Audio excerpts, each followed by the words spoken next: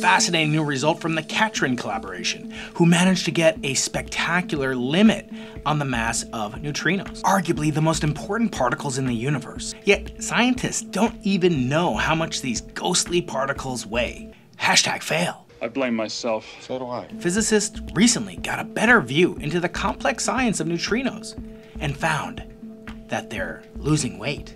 That's a good thing, but it needs to get even better. In the beginning, let's start with the beginning of the neutrinos, which actually doesn't begin with a neutrino at all. It actually doesn't begin with anything at all. How can I have some more of nothing? You're killing me, Smalls. It began with the absence of something. Let me explain. When physicists first observed the phenomenon known as beta decay, the process by which the atomic number of an element can change without its atomic mass number changing, this can happen in a couple of different ways.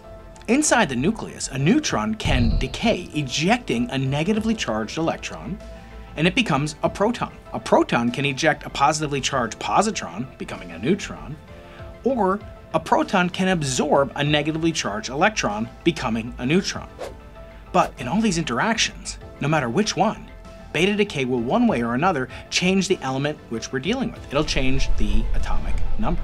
There's loads of different laws that describe in incredible detail how these kinds of particles interact, transform, carry charge, and what their masses are. Their physical properties are incredibly important, and this has been known for almost a century, but it wasn't fully understood the role that other particles besides the known neutron and the known proton and the known electron played. It was in fact conjectured by a missing ingredient that there had to be a new particle it seems like it should be easy to detect a whole new particle. After all, there's only 17 fundamental elementary particles, and objects like protons and neutrons aren't fundamental at all. They can decay, they're not elementary. But it turns out it wasn't so easy after all. Particle physics is hard enough to understand mathematically, but it's even harder to account for all the other deficiencies and lacunae that are encountered when you go into a physics lab. On this channel, I love to talk about experiments. Experiments that reveal the truth or falsity of different conjectured theoretical models. By the early 1930s, it was clear that something else was going on in beta decay. The ejected particle, be it an electron or a positron, was consistently measured traveling with a velocity and trajectory, and therefore kinetic energy, that just didn't align with one of the most closely held concepts in all of physics, conservation of momentum. This stumped physicists for quite a while, until Wolfgang Pauli made a revolutionary realization. If there were some neutral particle that was also ejected by this decay, it would be able to account for the missing energy, the missing momentum that was observed. It wouldn't have any impact on the effects of beta decay on the charge of the nucleus. As for why it hadn't been detected yet, Pauli posited that it was a non-interacting particle, one which left barely any trace on the apparatus or even on the rest of the world. Physicists didn't really take it very seriously. And in fact, Pauli said he had committed a cardinal sin. He had conjectured something that could never be measured. Well, he couldn't be more wrong. In 1955, physicists Clyde Cowan and Frederick Reines managed to detect antineutrinos being shot out of a nuclear reactor. Suddenly, we knew for a fact that radioactive decay could eject these non-interacting charged particles. And it would follow that natural cases of decay lead to natural sources of neutrinos. Thus began a decades-long search to find neutrinos directly and examine their properties. The more we know about them, the better we'll be able to describe how they interact both on Earth in nuclear reactors, in the sun, in other suns, and at the early universe's birth, the Big Bang. The initial conjecture was that neutrinos were actually massless. In 1957, the nuclear physicist Bruno Pontecorvo posited that neutrinos may oscillate between different states, called flavor states. You see, there's three different flavors of neutrinos. They correspond to the so-called leptons, the electron neutrino, the muon neutrino, and the tau neutrino. These different flavors of neutrino correspond to the different types of other actors in the nuclear reactions being considered. For electrons and positrons, it's obviously the electron neutrino and its antiparticle, the electron antineutrino. What Pontecorvo predicted was that a neutrino could actually oscillate between the different flavors, from electron to muon, muon to tau, tau to electron, etc. This is called flavor oscillation. It's been measured quite often since then and was instrumental in the awarding of the Nobel Prize to Kajita and McDonald. The neutrino flavor oscillation problem not only solved the mystery of whether or not neutrinos could have uh, non-vanishing mass, but it also solved the so-called solar neutrino problem. The solar neutrino problem is the failure to observe the expected number of, say, electron neutrinos coming from the nuclear reaction that takes place in the sun. Those were not detected because these flavors can oscillate. So if they were originally produced as an electron neutrino, it could oscillate into a tau neutrino. And then if your experiment could only detect electron neutrinos, you'd fail to observe any neutrinos whatsoever.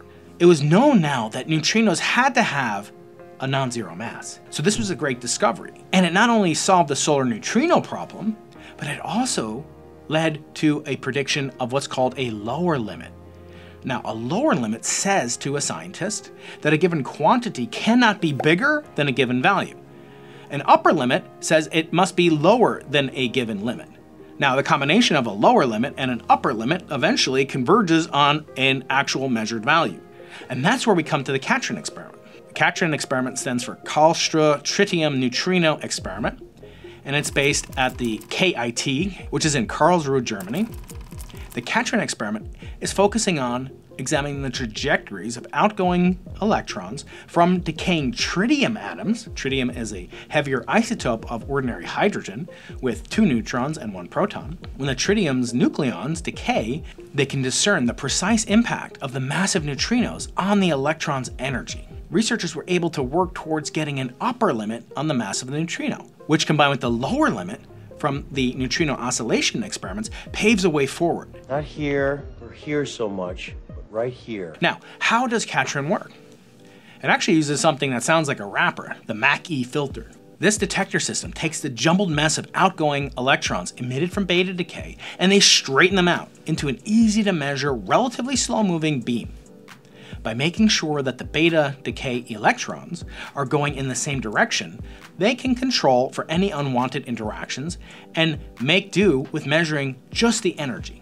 And that's what the electrostatic filter is for. It screens out the low energy electrons, which would otherwise possibly contaminate the uh, experimental results. We all know the most famous equation in all of science, E equals mc squared. That says that mass and energy are equivalent to one another. It actually comes back to haunt us in a certain sense we want to know the rest mass of a neutrino. But at the incredibly high speeds that neutrinos are ejected from beta decaying atoms, a lot of that rest mass is actually in the form or converted to energy. From neutrino oscillation experiments, we know those masses of the neutrinos are incredibly small, or else we would have detected them by the experiments that set upper limits. So they're traveling very close to the speed of light. It's very hard to steer or control them. But because the electrons and neutrinos are so closely linked to the energy released by the initial decaying atom, the tritium atom, if we slow down an electron and measure its energy near the endpoint of the distribution of its energy spectrum, we'll actually get a really good approximation for the maximum rest mass a neutrino could have. And that's what the MAC-E filter is there for. What about that tritium atom? Well, tritium is just a fancy name for hydrogen-3, which is a fairly rare isotope of hydrogen, highly radioactive. One of the neutrons inside of the tritium atom releases an electron via beta decay and becomes helium. The electron and neutrino that get ejected by this process have a really low endpoint energy, which, as we've just discussed, makes them ideal for measuring the rest mass of neutrinos. Across multiple studies, the Katrin researchers concluded that they can be 90% certain that the neutrino's rest mass must be less than 0.8 electron volts, where physicists use the unit of energy divided by the speed of light squared as a proxy for their mass. An electron volt is a unit of energy based on how much a single electron accelerates from rest in an electric field impressed upon it of 1 volt. For reference, an electron has a mass of about 511,000 electron volts, yeah, a neutrino is almost a million times less massive than an electron. It's incredibly small. It's the lightest of all the known elementary particles. For the first time, we've broken the so-called one electron volt barrier using an experiment on Earth. This is fascinating because it paves the way for future laboratory or earthbound experiments to make more and more progress. Now, I should note that cosmologists and astronomers have broken the one electron volt and left it far behind for almost a decade now. And upcoming experiments, like the Simons Array, the Atacama Cosmology Telescope, the South Pole Telescope, and the Simons Observatory, and eventually CMB Stage 4, will all constrain or detect neutrino masses. And so too will our colleagues that work on optical telescope surveys for so called baryon acoustic oscillations. Experiments like BOSS, the Dark Energy Survey, DES, and the Euclid satellite can also detect or constrain the masses of these mischievous ghost particles. So, will neutrinos stop losing weight? Stay tuned for the next weigh in. And don't forget to subscribe to my mailing list at briankeating.com for fascinating messages every month about the exciting world of experimental astrophysics and particle physics. If you want to learn more about neutrinos, click here for this special playlist that I made just for you.